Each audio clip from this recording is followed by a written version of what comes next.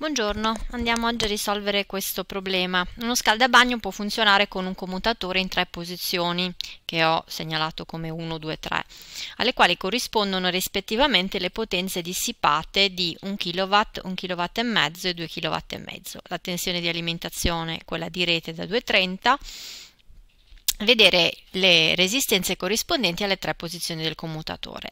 Allora, per prima cosa dobbiamo andare a ricavare la formula della resistenza data la tensione e la potenza. Se vi ricordate quella della potenza la ricavate come formula inversa, quindi sappiamo che la potenza è uguale alla tensione al quadrato fratto la resistenza, quindi la tensione capi di quella resistenza fratto quindi un v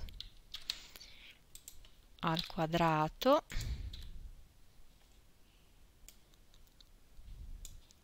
fratto r. Da questa possiamo ricavare la formula inversa e quindi dire che r è uguale a v al quadrato fratto p qua ricopio questa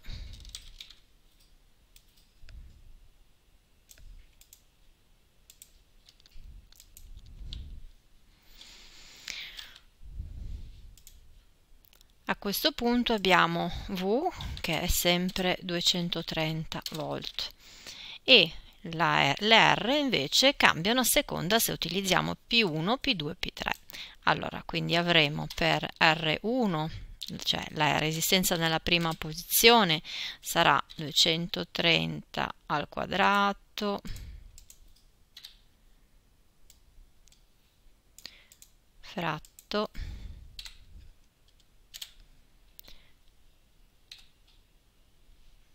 Mettiamo 1000 per evitare poi di fare delle conversioni, quindi comunque un kilowatt sono 1000 watt, così la resistenza ci viene in ohm e qui viene 52,9 ohm.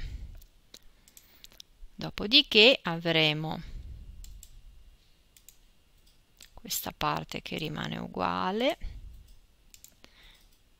ma diventerà R2 nella seconda posizione uguale sempre 230 al quadrato diviso 1500 e in questo caso viene 35,3 ohm circa ed R3 cioè la resistenza dello scaldabagno nella posizione 3 230 al quadrato diviso 2500 in questo caso viene 21,2 ohm Ovviamente, come vedete dalle formule, potenza e resistenza sono inversamente proporzionali, quindi al crescere della potenza diminuisce la resistenza, ovviamente, al parità di tensione. Spero di essere stata chiara, ci vediamo al prossimo esercizio.